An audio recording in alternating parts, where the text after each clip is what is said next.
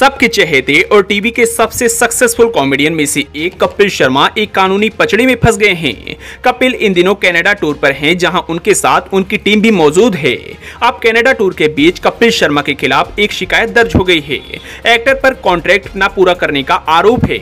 हालाँकि ये मामला हाल फ़िलहाल का नहीं, बल्कि साल 2015 का है। ई टाइम्स की खबर के मुताबिक साई यूएसए आईएनसी ने कपिल के खिलाफ शिकायत दर्ज करवाई है।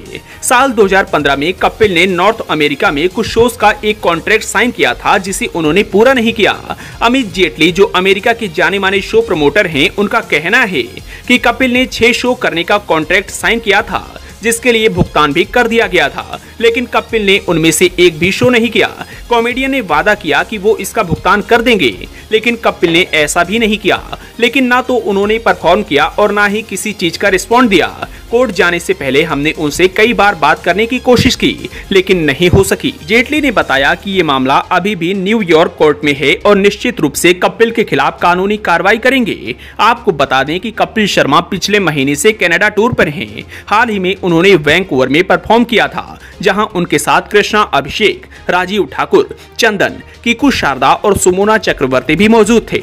फ़िलहाल पूरी टीम टोरंटो में मौजूद है।